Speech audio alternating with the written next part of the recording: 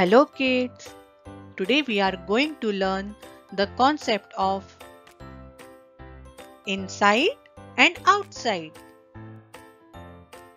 When an object is compared based on their position, then one of them will be inside the object and other one will be outside the object. Let's compare. Here is the fish swimming inside the pond and the boy is sitting outside the pond. Now let's look at other examples. There is a chick who is inside the eggshell whereas other chick is outside the eggshell. The toys are placed inside the box and on the other side toys are placed outside the box. The birds are sitting inside the cage whereas birds are sitting outside the cage. It's a time to play.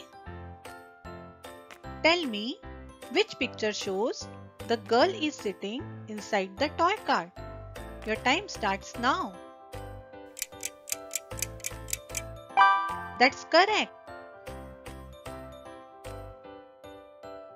Now tell me which boy is outside the bus. Your time starts now.